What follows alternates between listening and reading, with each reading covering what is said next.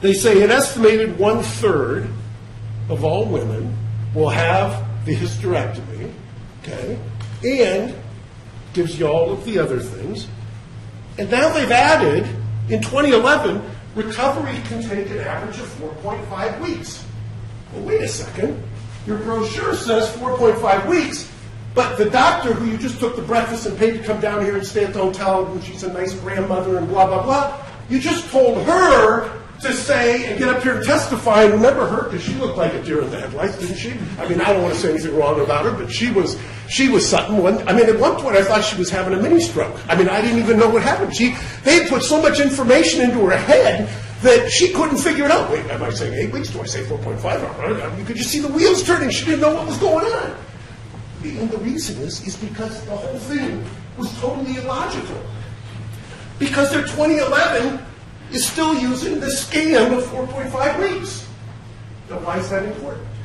Because this was a supposed cure for a problem that didn't exist. This was a company that had decided they were going to prey on women now, and they were going to create a need for this surgery.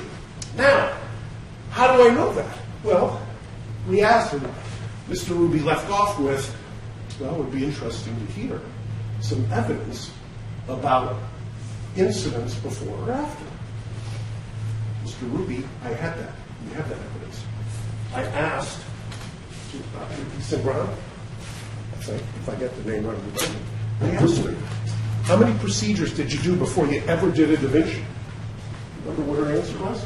200. Had you ever had cuff dehiscence prior to using the Vinci? Zero. No. She had not one. You have that testimony?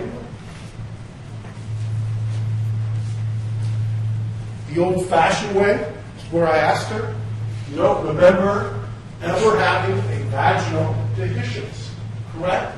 So here's the woman, not just any woman, the woman who actually did the surgery, the woman who actually did the surgery on this woman, who had done it for, I don't know how many years, she said it a long time.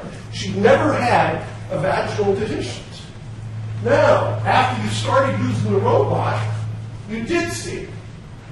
She, her answer is rarely because they programmed her. You can't say a lot. More than three, isn't that correct? Still rare with the amount of surgery I did. Before 2009, how many did you do? Probably 20. So she went from 0 to 200 to 3 for 20. Now, to be fair, when they got back up, then she realized, hey, 3 out of 20 is not rare. And so all of a sudden she came up with, well, maybe it was 200, and then she just flipped out right on the stand. So whatever the hell was going on with her, I don't know. But the fact is, there was never a problem. Anecdotally, you had a woman who did the surgery here. And I know that it's, I'm making fun, but it really is no joking matter. It's, you're taking now women's health and you're introducing a robot into the equation, and you're having what exactly, by the way, exactly what happened to her.